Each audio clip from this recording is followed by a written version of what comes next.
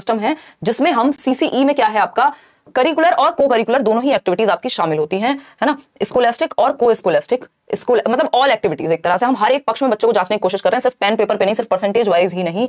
हम चाह रहे हैं कि उसका एप्टीट्यूड उसका एटीट्यूड हम उसको हर एक पक्ष में, वो म्यूज़िक में कितना अच्छा है, वो स्पोर्ट्स में कितना अच्छा है, वो क्या अच्छा कर सकता है है ना? शैक्षिक प्लस सह शैक्षिक करिकुलर प्लस को करिकुलर कह लीजिए आप, या होलिस्टिक होलिस्टिक वर्ड तो इतना प्यारा है, आपका नेशनल एजुकेशन पॉलिसी हो, आपका चाहे सीसीई हो डेवलपमेंट का चैप्टर हो, हर जगह पे सर्वांगीण पॉइंट जो है, यानी इन ऑल एस्पेक्ट्स हम बच्चे को ऑल एस्पेक्ट्स में यानी सभी पक्षों में जांचने की बात कर रहे हैं ना कि सिर्फ़ नंबर देकर के एक ही पक्ष में। अगर हम इसको ऐसे देखें इसमें सीसीई में भी इस, एक जो पहला सी है वो है कॉन्टिन्यूस कॉन्टिन्यूस का मतलब होता है लगातार यानी कॉन्टिन्यू रखेंगे हम किसी चीज़ को है ना? ड्यूरिंग द होल ईयर ये चलता रहेगा। कॉम्प्रिहेंसिव की मतलब कॉम्प्रिहेंसिव का यहाँ पे मतलब होता है कि इन ऑल एस्पेक्ट्स तो ये बेसिक बातें हैं जो हमें पता है यानी सभी पक्षों में ठीक? तो हम ये कह सकते हैं कि बच्चे की progress achievement in all school activities अगर हम इसको ऐसे देखें तो करिकुलम के कुछ प्रिंसिपल्स हो सकते हैं टीचिंग प्रोसेस में जिनको ध्यान में रखा जाए, ये एक्स्ट्रा में आपको डिस्कवरी लर्निंग के लिए दिए गए हैं एक्सप्लोरेटरी लर्निंग से ही जुड़ा हुआ है, ये एक्सप्लोरेटरी लर्निंग के पास आना था कि बच्चा एंगेज रहे, बच्चा इन्फॉर्मेशन एक्सचेंज कर पाए एम्पावर कर पाए, हम उसको एग्जिबिट कर पाए एग्जिबिशन यानी प्रदर्शनी जो भी उसने बेहतर किया है,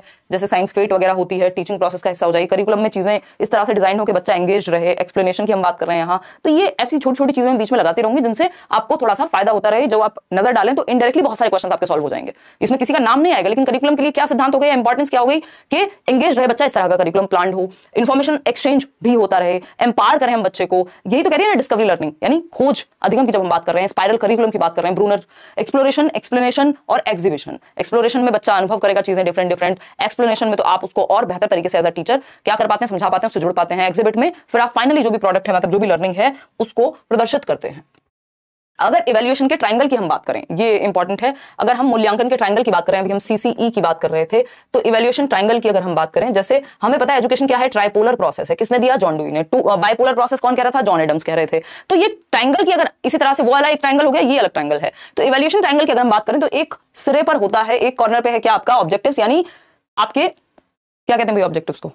बताइए, उद्देश्य। ठीक, कि हम पढ़ा क्यों रहे हैं, उसके उद्देश्य क्या है? एक तो ये चीज़ हो गई। फिर बाद में हम लर्निंग आउटकम्स देखते हैं कि वो उद्देश्य किस हद तक अचीव हो पाए, वो ऑब्जेक्टिव किस हद तक अचीव हो पाए, इसलिए भी हम